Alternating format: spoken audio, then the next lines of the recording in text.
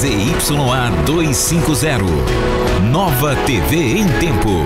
Uma emissora afiliada ao SBT.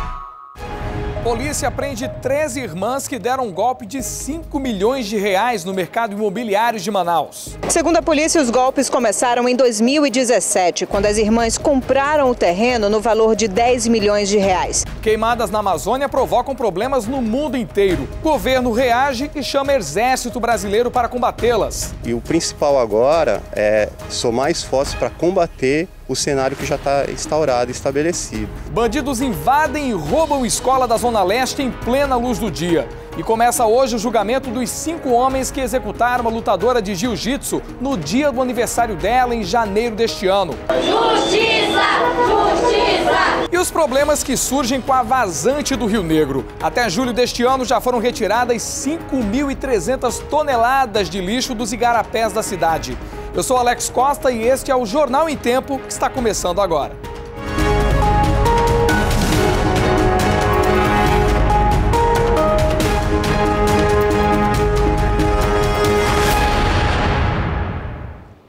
Olá, muito boa noite. A Polícia Civil desvendou um golpe de 5 milhões de reais aplicados no mercado imobiliário de Manaus.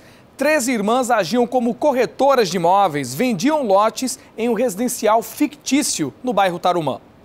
Sheila Patrícia, Mônica Regina e Gleice Cristina Queiroz Reis foram presas em cumprimento de mandado de prisão por crime de estelionato. As irmãs vendiam casas em um residencial fictício, o Lotus Tarumã. O empreendimento, que supostamente seria construído na Avenida do Setur, bairro Tarumã, zona oeste da capital, deveria ter sido entregue no ano passado, mas está sem obras até hoje. Elas não têm obra, não tinham nem licença para construir, estavam vendendo antecipadamente, inclusive elas aceitavam carros, casas e qualquer outro bem como parte do pagamento. Segundo a polícia, os golpes começaram em 2017, quando as irmãs compraram o terreno no valor de 10 milhões de reais. Porém, só pagaram 500 mil aos proprietários e o restante dividiram em cheques sem fundo que meus clientes, por exemplo, moravam há mais de 20 anos nessa propriedade. Ela conseguiu convencê-los de sair, morar de aluguel e hoje estão morando de aluguel, perderam absolutamente tudo e estão nessa situação gravíssima. Uma das irmãs rebateu as acusações. 64 mil metros que ela me vendeu,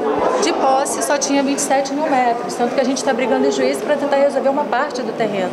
Então, a nossa empresa teve que comprar uma outra parte do terreno de uma outra empresa lá, no qual a gente está instalando, a gente está trabalhando olho aberto na hora de comprar pela internet. E uma operação conjunta da Polícia Civil resultou na prisão de 10 pessoas em vários bairros da região norte aqui de Manaus. A Operação North Zone cumpriu ainda mandados de busca e de apreensão.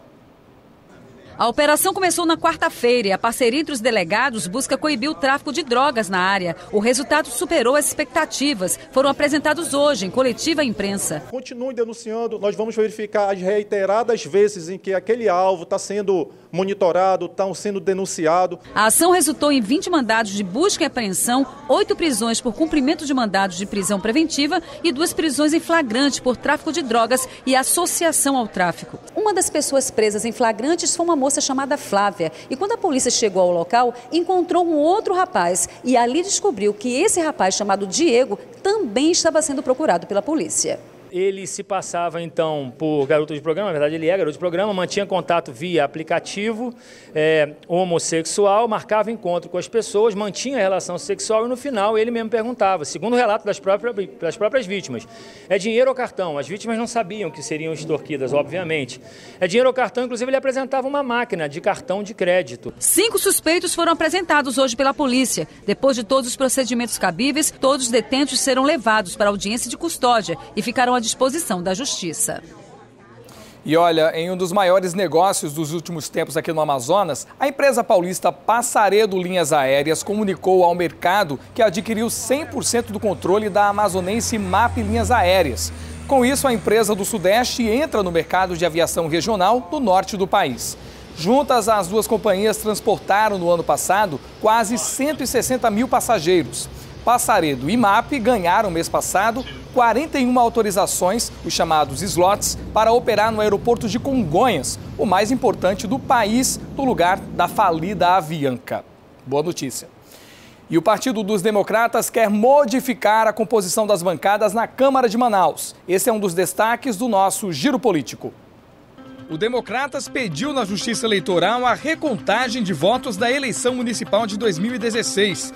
Tudo por conta da decisão da juíza Kathleen Gomes, que anulou os votos dados a candidatos do PL, na época PR. A decisão da magistrada cassou os mandatos dos vereadores Sargento Papinha, Cláudio Proença, Fred Mota e Mirte Salles. Com a recontagem, o DEM almeja engrossar a bancada de três vereadores na Câmara Municipal. O prefeito Arthur Neto fez a abertura da sessão de prefeitos da Semana do Clima da América Latina e Caribe. O evento aconteceu nessa manhã em Salvador, na Bahia. Arthur destacou a importância da Zona Franca para a preservação da Amazônia e criticou a política ambiental do governo federal, que, segundo ele, é movida a conflitos constantes. E para discutir a reforma tributária, o presidente da Câmara Federal, Rodrigo Maia, marcou um jantar com toda a bancada do Amazonas para a próxima terça-feira. A solenidade acontece na casa do senador Omar Aziz. Maia fez duras críticas nessa semana ao polo duas rodas da Zona Franca e isso causou estranheza entre os parlamentares. Rodrigo Maia sempre foi visto como um dos principais aliados deste modelo de desenvolvimento regional. E veja a seguir: queimadas colocam a Amazônia na pauta mundial. Presidente escala exército para ajudar a reverter esse quadro. E aqui em Manaus, manifestantes estão se organizando em protesto contra a política ambiental do governo federal. Agora são 18 horas e 25 minutos. O Jornal em Tempo volta já já.